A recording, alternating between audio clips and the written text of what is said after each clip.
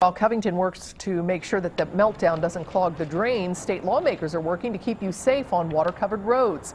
The Senate Transportation Committee passed a bill today that would outlaw driving on water-covered roads. The bill proposes people who ignore the signs and drive through water face a $2,000 fine if they have to be rescued. Now, this bill does not apply if there is not a posted warning. The legislation now goes to the full House.